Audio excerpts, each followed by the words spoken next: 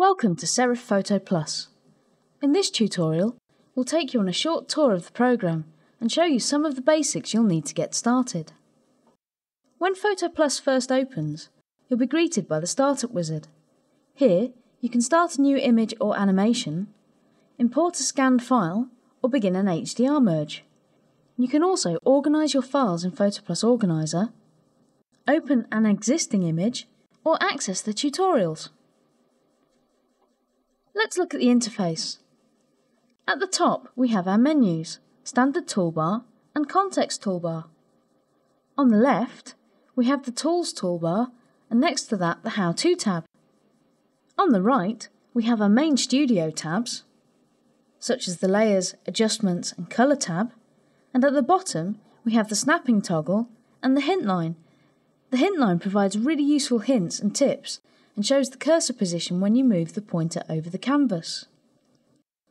We also have the Documents tab, which is collapsed by default to save space. You can collapse or expand tabs at any time by clicking the small arrow next to them. You can also expand or collapse sets of tabs by clicking the Tab menu button and choosing the option from the menu. PhotoPlus has many powerful features to make editing your photos really easy. It even has dedicated studios so that you can quickly fix or enhance your photos and even cut them out. If you make a mistake, the History tab allows you to revert back to an earlier stage. To zoom into an image, click the Zoom tool and then drag over the area you want to magnify. To zoom out, either right click or select one of the options from the View menu.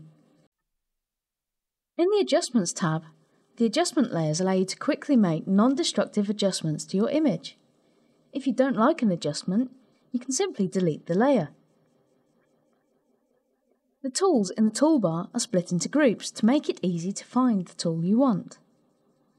You'll find tools for moving, transforming, straightening or cropping your photo at the top of the toolbar.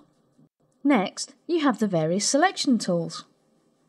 After these are the editing tools and finally, the warping, text, and path editing tools. If you want to make your whole image bigger or smaller, you can do this from the image menu. I'll just increase the size of my image, ready for printing. Hopefully this tutorial has given you a brief overview of the features available in PhotoPlus. For information on how to get creative with your photos or perform detailed adjustments, see the How To tab PhotoPlus Help, or the other online tutorials. Thanks for watching.